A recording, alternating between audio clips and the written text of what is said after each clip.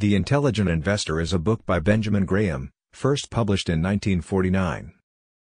It is considered a classic of investment literature and has been widely read by people interested in the stock market. The book is divided into two parts. The first part is a general discussion of investment principles and the second part is a more detailed examination of specific investment strategies. The main idea of the book is that investors should focus on the long term, rather than trying to make quick profits. Graham argues that investors should be more concerned with the underlying value of a company and less concerned with short-term market fluctuations. He also emphasizes the importance of diversification and risk management. The book also introduced the concept of value investing, which is the idea of buying undervalued stocks with the potential for long-term growth, rather than trying to predict market movements. The book is still widely read today and is considered a must-read for anyone interested in investing.